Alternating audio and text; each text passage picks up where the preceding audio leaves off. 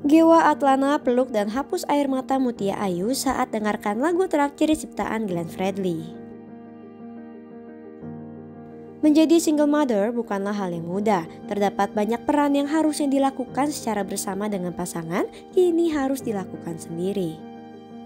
Begitu juga yang dirasakan oleh Mutia Ayu, istri mendiang penyanyi legendaris Glenn Fredly. Mutia harus dipisahkan dengan kekasih hatinya oleh maut.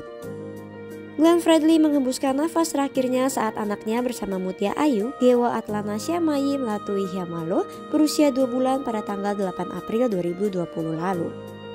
Saat itu salah satu penyanyi legendaris Indonesia itu meninggal dunia karena penyakit meningitis yang sudah lama diidapnya.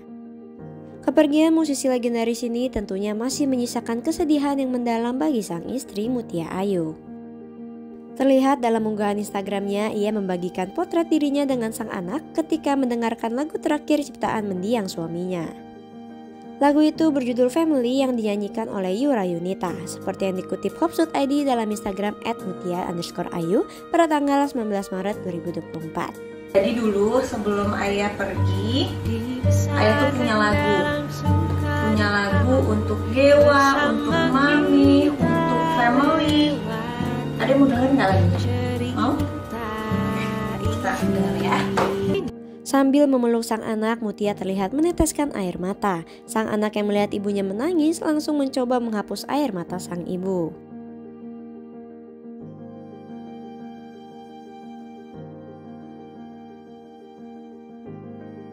Tak lama kemudian, Gewa mengambilkan sebuah tisu untuk menghapus air mata ibundanya. Ia juga memeluk serta mencium Mutia.